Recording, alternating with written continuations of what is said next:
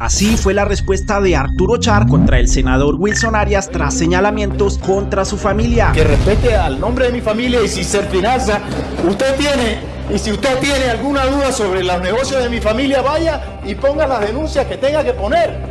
Toda la denuncia que quiera.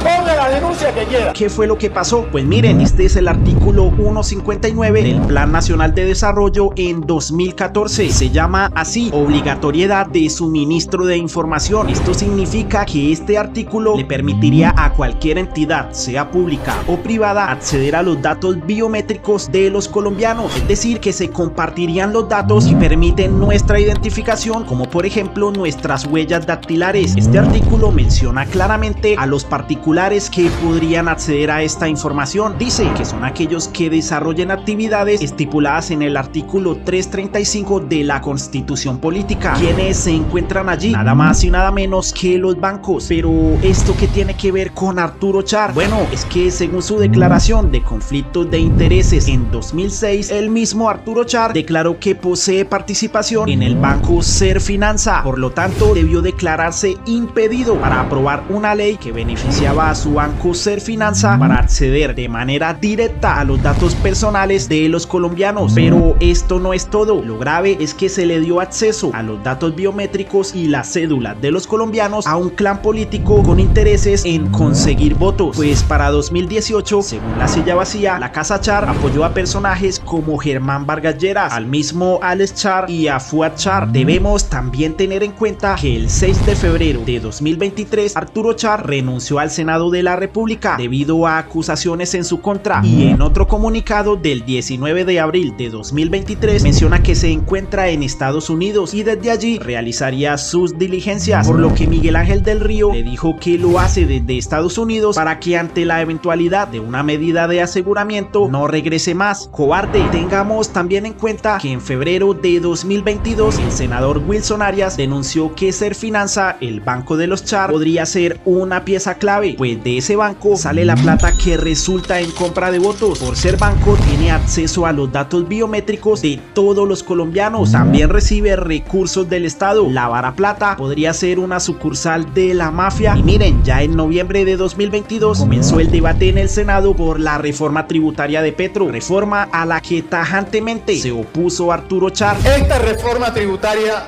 está sopesada en una, en una incertidumbre porque si bien los precios del petróleo hoy están en los niveles que están, no se sabe.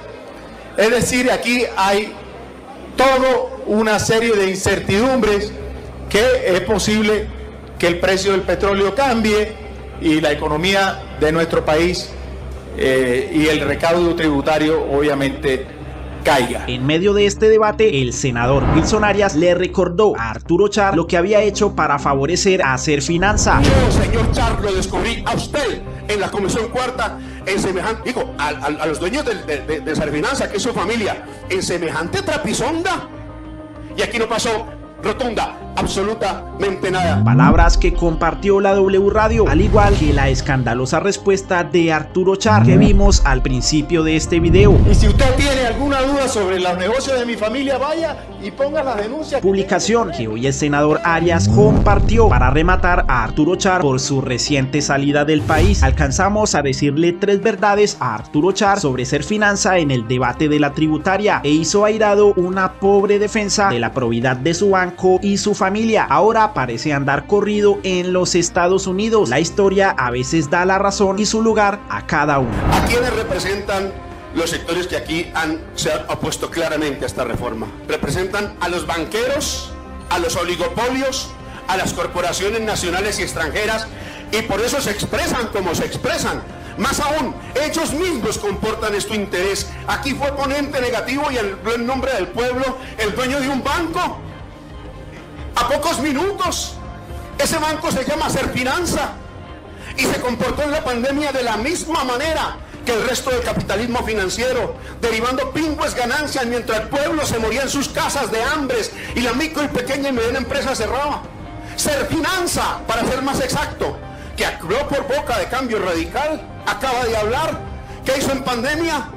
cuando el Estado le proporcionó recursos públicos para que lo prestara a menos tasa de interés a los sectores sociales y empresariales, burló la norma de Duque y de Bancoldes en esta pandemia. Lo hizo pagando por encima de la tasa ordinaria que debería cobrar burdamente y Duque lo protegió. Yo hice la denuncia.